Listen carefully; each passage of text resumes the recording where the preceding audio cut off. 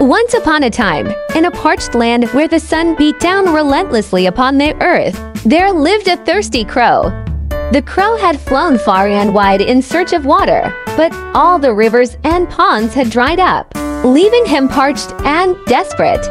As the crow flew over the countryside, his keen eyes spotted a pitcher nestled among the rocks. With hope in his heart, the crow swooped down and landed beside the pitcher, hoping to find relief from his thirst. To his disappointment, the pitcher contained only a small amount of water at the bottom, far out of reach of his beak. Try as he might, the crow could not tip the pitcher enough to access the precious water within. Undeterred, the clever crow pondered his predicament and devised a cunning plan. Spotting nearby pebbles scattered across the ground, the crow picked them up, one by one, and dropped them into the pitcher.